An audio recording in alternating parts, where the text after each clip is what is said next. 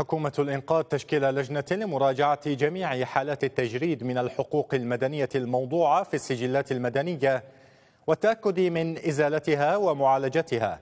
وقال مسؤول العلاقات العامة في رئاسة الحكومة إن رئيس الحكومة وجه بفتح تحقيق فوري ومساءلة من أصدر الوثيقة عن طريق القضاء المختص وإصلاح الخلل الذي حصل بأوراق وثبوتيات المراجع صاحب العلاقة. وجاء بيان الحكومة على خلفية إصدار إدارة السجل المدني وثيقة بيان قيد لضابط منشق عن جيش النظام كتب عليها مجرد من الحقوق المدنية والعسكرية.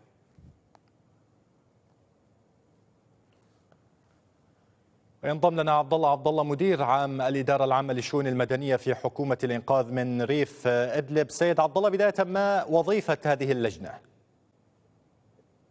السلام عليكم ورحمة الله وبركاته اولا السيد رئيس الحكومة الإنقاذ أمر بتشكيل لجنة مهمة النظر في خلاصة الأحكام المذكورة والمدونة على بعض القيود في السجلات المدنية وهدفه هدف اللجنة هي التخفيف عن الاخوه أصحاب القيود اللي وضعت إشارة قضائية على قيده. نعم. نعم, نعم سيد عبد الله تفضل. تفضل. هلا نحن في عندنا القيد، القيد ما يحمل من بيانات من اسم أب من اسم أم من اسم من اسم الشخص ذات نفسه المواليد واحيانا يطرأ على هذا القيد حكم قضائي، الحكم القضائي بيصدر من محكمة ويدون على القيد، فبيجي أحد الأخوة مثلا بده طبعا القيد مكتوب عليه مجرد من الحقوق المدنية والغرض هذا الكلام أنا عم بحكي عند النظام عند النظام كان الغرض منه ما بيبيع ولا بيشتري ولا بيتوظف حتى يراجع القضاء. بالنسبة لنا نحن هون ما في عندنا هالمشكلة هاي. يعني بيجي بياخذ إخراج قيده تمام خالي من هالعبارة. إلا إذا صاحب القيد طلب إنه يراجع أمره في القضاء يراجع أمره في القضاء فنحن بندور له على إخراج القيد المذكره القضائيه أو خلاصة حكمه على أخراج قيده ومن ثم براجع القضاء لرد اعتباره. طبعا اذا كيف تم إصدار بيان القيد الذي يتضمن تجريد؟ خلاصة الحكم هو تنازع بين شخصين تفضل. كيف تم إصدار الحكم أو القيد بيان القيد الذي يتضمن تجريد المراجع من حقوقه المدنية والعسكرية؟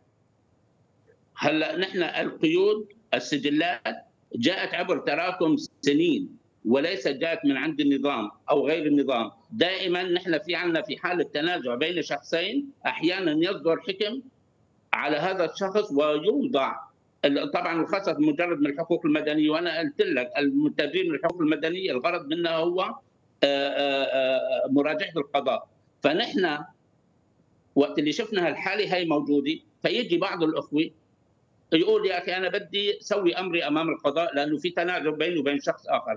فبنعطيه إخراج قيد مدون عليه خلاصة الحكم، مدون عليه خلاصة الحكم فبروح أمام القضاء بيسوي وضعه، واللي بده إخراج قيد ما هو مدون عليه خلاصة الحكم فنحن ما عندنا مشكلة فيه.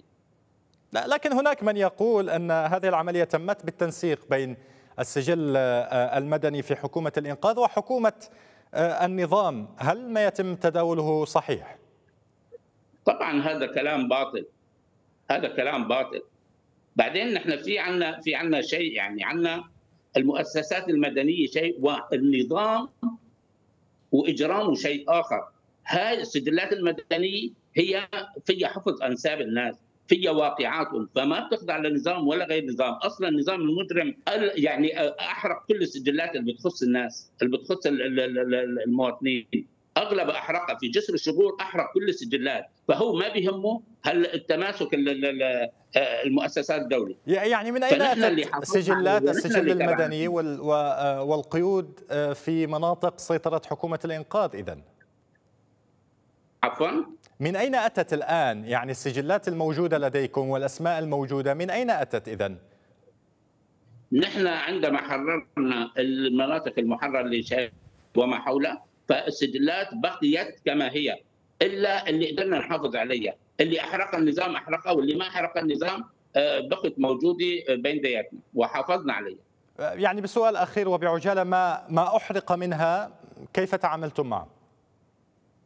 اللي أحرق النظام تعاملنا معها أعدنا اعتبارا من جديد أعدنا التسجيل وأعدنا قراءة السجلات المحروقة. وتواصلنا مع الناس وجبنا بياناتهم وسجلناهم من جديد وظلينا على مدى خمس سنوات ونحن عم نقوم بعملية تسجيل من جديد بالنسبة شكرا. للمواطنين اللي احرقت سجلاتهم. عبد الله عبد الله طبعا المواطن بإيده بطاقة عائليه بإيده آه، آه، بطاقة شخصية بإيده كذا كل هالمعلومات هاي نحن نزلناها من جديد على السجلات. مدير عام الإدارة العامة للشؤون المدنية في حكومة الإنقاذ كنت معنا من ريف إدلب شكرا لك.